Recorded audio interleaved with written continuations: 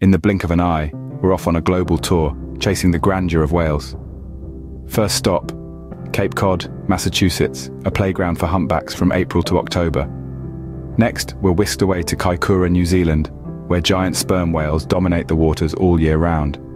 Now we find ourselves in Vancouver Island, Canada, where orcas rule from May to October.